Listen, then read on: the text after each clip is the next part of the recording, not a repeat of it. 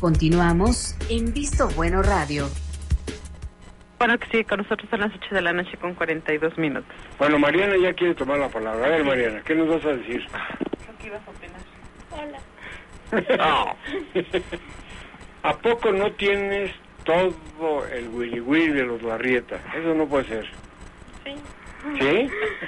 A ver, entonces, ¿cuál, es tu, cuál es tu opinión? A ver, dinos por quién votó para empezar. Ay, no, Ándale. es un secreto leak. No, mi hija dice, pero ¿por qué y No, por qué? sí, sí, pero digo, como que se diga, no, no es, La llevo conmigo, ¿eh? A ver, vamos a entrarle al tema. eh, es, la, es la parte final del programa, entonces sí me gustaría que cada quien diera su opinión de, de cómo vieron las Yo, yo ¿no? quiero decir algo. Yo creo que en esta ocasión el gobernador sale muy fortalecido del proceso electoral porque hubo paz, tranquilidad, armonía. Yo creo que es una magnífica oportunidad del gobernador para cimentar su, su gobierno, para demostrar en los hechos que, que va a gobernar con todos y para todos. Yo creo que debe lanzar rápido un mensaje de, de eso, porque se utilizó como arma de disuasión. Y creo yo que él va, va a operar muy bien porque la gente, la sociedad misma, va a arropar y le va a exigir a los presidentes municipales pues, que, que se sumen al trabajo del, del gobernador. Yo no creo que haya quien les pida que se confronten. Sería un suicidio. La gente quiere progresar, quiere avanzar y buscó las mejores propuestas para hacerlo. Entonces yo creo que es un buen momento. Ojalá el gobernador, los funcionarios públicos que, que están con el gobernador, los presidentes municipales, que son los villanos favoritos en las pérdidas, desde rato no tienen, no tienen madre, pero siempre buscan al presidente en turno. Gerardo? echen la culpa.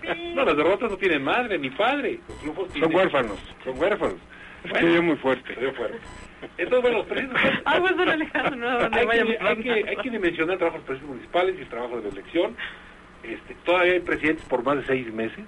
Hay candidatos que tampoco tuvieron madre, ¿eh? Sí, sí, claro. Huérfanos, huérfanos. huérfanos. Son huérfanos. Huérfanos de madre. Eh, hay que entender, a los electos, pues que respetan a los presidentes municipales en funciones, faltan seis meses. Y que tengan la madurez los presidentes en funciones de abrir el espacio del presupuesto el próximo año a los electos, para que podamos tener eh, una- un cambio transparente y positivo en el Estado. Pero esto es muy fácil, Carmen. A ver, sabemos qué es lo que prometieron en campaña los candidatos. Bueno, ya un candidato ganó o una candidata ganó en el municipio que, que quieran.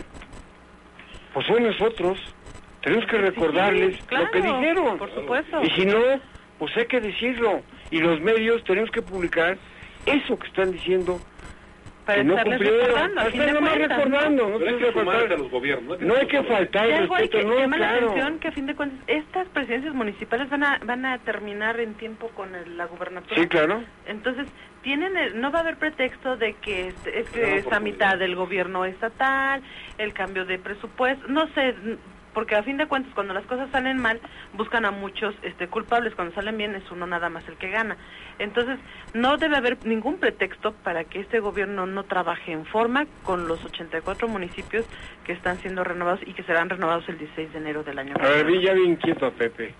A ver, Pepe. A ver, es que Ay. hay algo fundamental en lo que estás diciendo tú.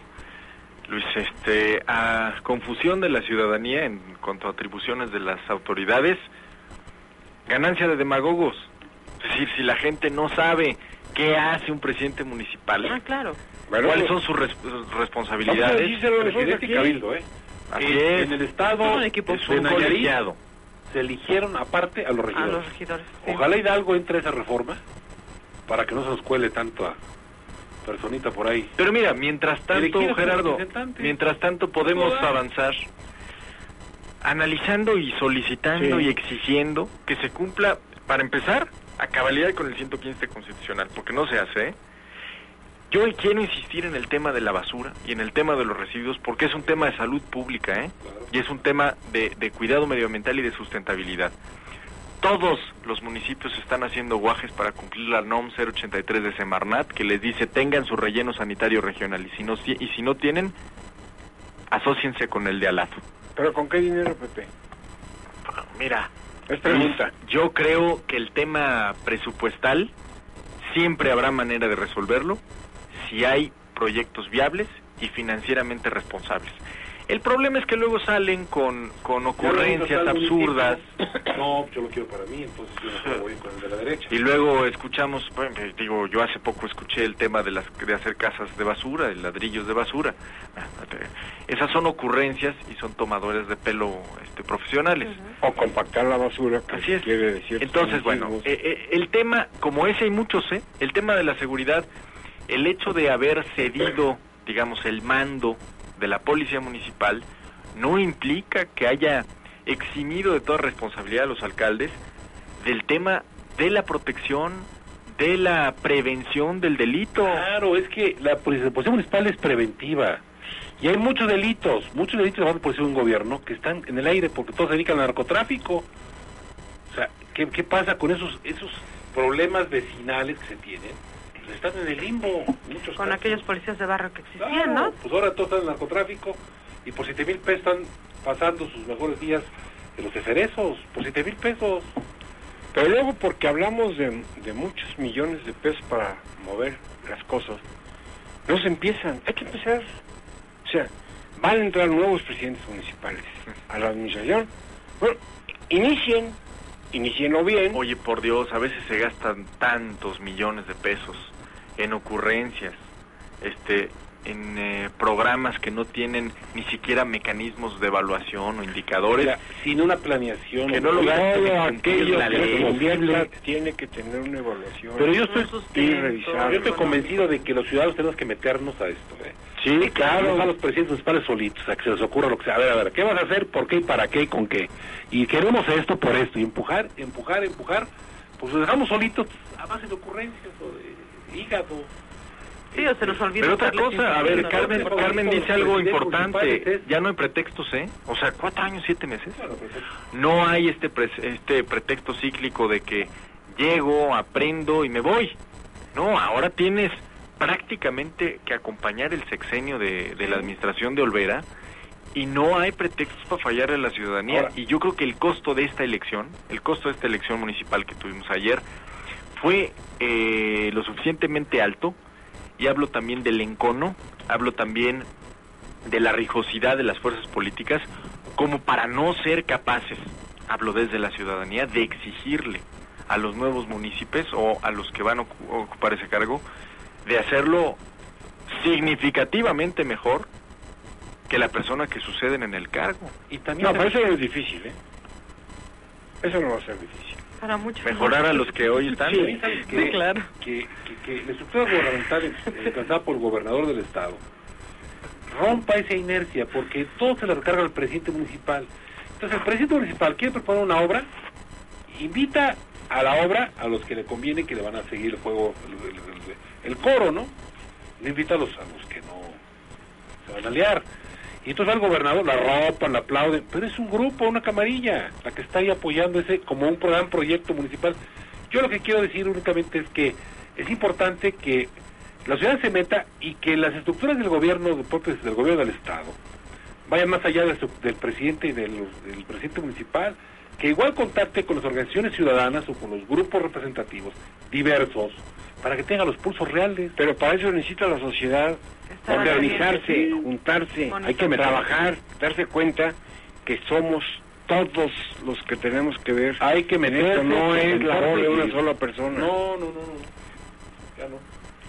No, y no nada más dejarle la responsabilidad al presidente municipal porque ya, o bueno, decir, ya cumplí con ir a votar. No, o sea, vamos a ir a votar, sí, pero también vamos a exigir que se nos cumpla todo lo que nos dijeron, porque a fin de cuentas fue un abanico de propuestas, un abanico... Ahora, doblemente, Sí, respons- está claro. doblemente responsabilidad. Tú mencionabas, Pepe, no sé si en el intermedio o antes que llegáramos aquí al programa, que fue una votación de jóvenes, un alto porcentaje de jóvenes. Entonces la responsabilidad es doble, ¿eh? Pero déjame además este, Hay que cumplirles a los jóvenes. apuntar sobre ese comentario, Luis, que eh, los jóvenes no están votando en contra del PRI. ¿eh? Se está rompiendo ese paradigma. Así como el voto campesino le dio un eh, impulso a la candidatura del PAN en Tulancingo, ¿no? lo cual rompe con un esquema tradicional de nuestra cultura política, déjame decir que hay muchos jóvenes que no están votando en contra del PRI. ¿Por qué? Pues porque los costos de gobierno de los gobiernos priistas no les tocaron. Claro. Es una realidad ¿Y que no qué? sé si esté tomando en cuenta el PAN y el presidente y el gobierno al evocar constantemente el pasado. Porque el discurso de los panistas y de los paradistas va hacia años atrás, cuando los jóvenes pues, no lo vivieron y No, no, eran niños. no tienen no tienen ninguna antecedente de cómo Sí, sucedió no es eso. un discurso hueco. Sí, es un- ahí las es un ahí está lo que se hizo. Un engaño lo que están haciendo. Bueno, pero vamos a cambiar todos, o sea, desde los que están en el poder hasta los que están en la oposición, hasta los medios de Los comunicación, medios de comunicación. te iba a porque es un problema, es un problema del país. A mí me Claro. da mucho gusto ver a Crónica, haber visto bueno, que tuvo una apertura amplia con este programa de radio, tuvo una apertura, todos tuvieron apertura. Hubo medios que se cerraron, ¿eh? Nomás salía un partido. Y yo creo que es importante que, está bien que salga un partido con, con la trascendencia, da espacio de, información a los demás. Pero yo creo que también eso ganamos, en eso que hubo otras opciones, hubo opciones que fueron plurales y que le dieron espacio de información y la ciudad se informó. Pero de lo que decíamos, es, es, es algo que hay que analizarlo a fondo. Por ejemplo, los partidos fueron muy pocos los que mandaban información a Los los que estaban al medios. de otra los Fueron los muy pocos los Es que avisaban cuáles eran sus actividades. ¿eh? Sí, ¿Cómo sí. va a salir en un medio de comunicación algo al cual no fue invitado o no le fue llegado la información? Es un problema que hay que solucionar. el trabajo que no piensan en eso tan Sí, importante. o sea, No, y hay que los hacerlo. políticos realmente asuman esa Y exigirle a los medios de comunicación que publiquen lo que tiene que publicar, pero para eso. Como Es, que información. es más fácil victimizarse. Claro. Es más fácil decir que presa vendida y Sí, mil claro, cosas por de esas, supuesto. ¿no? Pero en fin, Pepe, te veo Es que- pensativo. No, yo creo que eh, este tengo que reafirmar una tesis tuya de hace muchos años, que hay que saber ser noticia. Y si los candidatos no saben ser noticia y creen que por levantarse en la mañana son noticia ¿Y los porque son partidos? candidatos, bueno, pues no son. Y no es eh, sino desatender e ignorar por completo la dinámica de los medios de comunicación. Así lo veo. Realmente en, en el proceso electoral del día de ayer, me parece que si la ciudadanía se expresa y define, sin duda, no voy a escatimar ese comentario, ojalá lo hiciera en un 53% este, ¿O más? de correspondencia, es decir, que votara la otra mitad de hidalguenses que se quedan ¿Qué en casa. con la otra mitad que se queda en casa? Yo creo que es una manera de expresar que la oferta política... Gerardo, ¿sabes qué? Mira, Es- si a mí me eh, cuesta eh, trabajo juzgarlo. Yo creo que el, el tema es que la oferta política no convence y no hay un entendimiento pleno de que uno puede ir a anular su voto para quejarse. Y la manera de expresar esa No e- es, es justamente el no ir.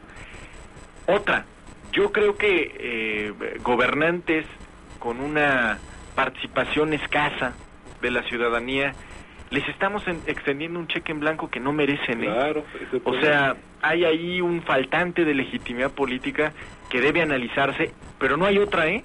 Eso es cambiando un factor cultural. Y la cultura política, por definición, no se cambia de una elección a otra, sino de una generación a otra. Y esa sí es responsabilidad de los medios de comunicación, estar insistiendo, y los que tenemos la oportunidad de opinar en una mesa como esta, eh, que el que no participa en democracia no solo se está perdiendo de la posibilidad de determinar quién lo representa o no, sino también de darse pedestal, darse micrófono, darse voz, cuando ese representante tome una u otra decisión. Pues yo, yo, yo de veras invito al Instituto Electoral que haga el ejercicio que hizo el IFE, de poner unos eh, urnas para niños, para ir generando esta conciencia cívica. Sí, claro. Es muy importante que los niños se manifiesten eh, pues alguna cuestión de carácter ecológico, algún tema. Se Ya lo habían hecho este... ¿Tú llevaste a Mariana? No. ¿No te acompañó y por qué? Porque estaba durmiendo. Porque fui muy temprano. O sea, realmente fui, no sé, la tercera en votar en mi casilla. Este, normalmente la llevo y si, si, si algo creo que he hecho bien o mal con mi hija es hablarle mucho de política. Y ella, digo, aparte ahorita el micrófono le da, le da pena. Pero ayer sí me decía algo muy claro. Y me dijo, ¿sabes qué, mamá? Yo creo que los partidos políticos se deben de poner a analizar los resultados que sacaron porque, bueno, la gente está diciendo algo con ello. Y si una niña de 11 años lo está haciendo, ojalá los que estén al frente de los partidos políticos lo entiendan de esa forma, ¿no? Porque son el... el Pero nosotros no nada más los partidos políticos. Todos debemos hacer un análisis de lo que sucedió. A lo que voy... Lo ¿Qué que faltó? A veces los ¿Qué partidos sobró? políticos pecan de soberbia, ingeniero. No, no, por supuesto. Entonces, es cuando dicen, bueno, yo gané, qué bueno Yo- que gané, pero no sabemos por qué ganaste o por qué perdiste. Yo veo, ¿No? con, con todo respeto, para esa pregunta que lanzan, eh, ¿qué falta y qué sobra? Yo hago eco de un comentario de Denise Merker, en el que dice, en esta democracia lo que ha sobrado es que lo que consideramos trampa electoral pues, esté institucionalizado. Es decir, cuando vemos que la comisión de un delito electoral o no tiene repercusiones, o la multa es escasa, baja, pues lo que se incentiva es justamente ensuciar Claro. las elecciones. Entonces, en lugar de que los partidos tengan en la agenda conquistar a través de propuestas al ciudadano y sumar, sumar voluntades, lo que tienen es un ejército de mapaches, lo que tienen es el plan para ganar notas a partir de escándalos. Y luego los tribunales, ¿no? Y, y mira, los tribunales que se dirima lo que haya que dirimir. El dilema es abusar. El dilema es abusar de los instrumentos legales que nos hemos dado para vivir en democracia para determinar el sentido de lo que las urnas están dictaminando, uno u otro. Yo creo que sí es faltarle un poco el respeto al ciudadano. Y Ya se hablábamos... quejaron los mapaches, los animales, de que los estén que- por qué les dicen mapaches a, esta bola de, de- gente Revoltosos. revoltosos. Sí, claro. ¿Por qué? Es que perro se oye muy feo, ¿Qué pero... hace, este, ¿qué Pero, hace ¿qué un mapache, mapaches no? Bueno, los que- animales es muy feo, ¿no? O será por los Porque antifaces. ahora ya son de todos los colores, ¿no? Ya te pones un color tricolor, te pones un color azul, te pones un color amarillo, Verde. Pero- naranja, de todos los colores. Sí, los ¿Qué mapaches qué son de todos los mapache, colores. eh? Pobres mapaches. Yo, yo me quedo con la explicación del veterinario Rodríguez. A ver, ¿cuál fue? De que usan antifaz los mapaches. Pues será por eso. Es para ¿No? pintar la Que face. usan, antifaz para Yo creo que habría que preguntarle a algún senador, no voy a decir el nombre, pero yo creo que él nos puede ilustrar, dado su conocimiento del mundo animal. Ok. Carmen, De la fauna electoral. que otro gobernador. pero- El tiempo se ha terminado, son las 8 de la noche con 59 minutos. Una vez más le agradecemos a usted que nos haya hecho favor de sintonizarnos un lunes más y el próximo lunes en punto de las 8 de la noche lo esperamos en una emisión de Visto Bueno Radio. Que tenga excelente inicio de semana, ingeniero licenciado Pepe. Buenas noches. Igualmente, Carmen. Un gusto, gusto. Mariana. Paisanos. Ok, pues muchas gracias y el próximo lunes en punto de las 8 los esperamos en un programa más. Gracias. NQ La Superestación presentó Visto Bueno Radio.